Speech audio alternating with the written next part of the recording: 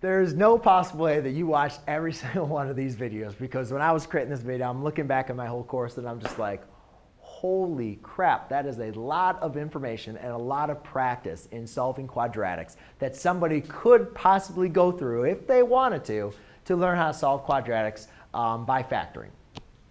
And so congratulations you for at least maybe coming down or working your way down to this video or just even scrolling down and coming down to kind of see the summary video. And I'll try to make the summary video as quick as possible. Really all I wanted to do is just kind of understand exactly what we're trying to achieve by solving quadratics. Um, I've kind of already gone through a lot of the tips and tricks um, and common mistakes that I see with students, but I'll, I'll have a couple of, a couple of them that I want to add in. So the main important thing is we have a quadratic that's going to come up into our standard form. y equals ax squared plus bx plus c. And we've seen a whole bunch of, or whole, I wanted to use the word slew of quadratics where, you know, maybe we're missing a bx or maybe we're missing a c. We can't miss the x squared because that's part of the identity of the quadratic. But we've talked about a whole different types of ways how to solve that. Now, again, when we're looking at the quadratic, the main important thing that you we want to understand is a quadratic comes in three different systems we can have a quadratic that's going to touch the graph and rebound, meaning it's going to have one solution.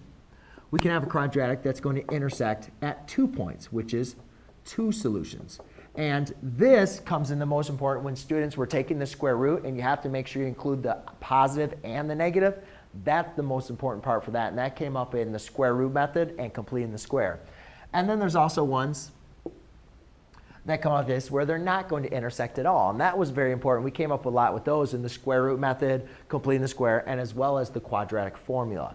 So I, understanding that when you're solving a quadratic, you can have one, two, or zero solutions to it that it, it makes you kind of think that you got to be able to identify, and that's a lot what we talked about in the quadratic formula, using the discriminant. How how is the discriminant going to affect my solution? So even when you get into graphing or completing the square, we can always go back to that discriminant, evaluate the discriminant to kind of see, all right, am I going to have one, two, or no solutions?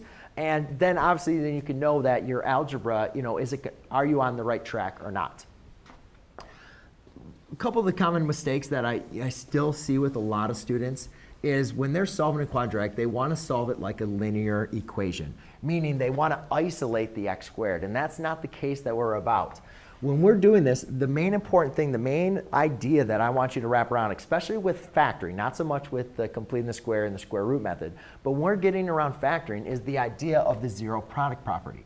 That a times b equals zero, then a equals zero, or b equals zero, all right?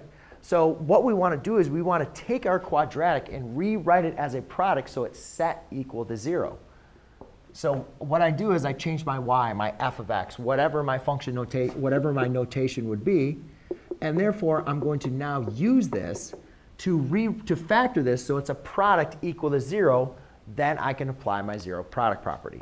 And then what's obviously important about the quadratic formula and, not the quadratic formula, but completing the square and the square root method is in those cases, we're going to be applying the square root method. And so therefore, we're going to have to, whenever we're solving, we have to make sure we include the positive and negative. That's one of the biggest mistakes I see with those two methods is students take the square root of a number and they forget to include the positive and the negative value. Um, but one of the tips and tricks, you know, guys, I'd really say is you got to make sure you understand, especially if you're factoring, to set it equal to zero, to create it as a product, to apply the zero product property. And the common mistakes, uh, again, would be is trying to solve it like a linear function when you have to factor it and not including the positive and the negatives when you take a square root. But uh, you know, there's a lot of little ones that I've taken into uh, similar courses. But ladies and gentlemen, I just wanted to make this night, you know, quick little video for you, just to summarize. Congratulate you on coming all the way to this end, and I hope you enjoyed. Thanks.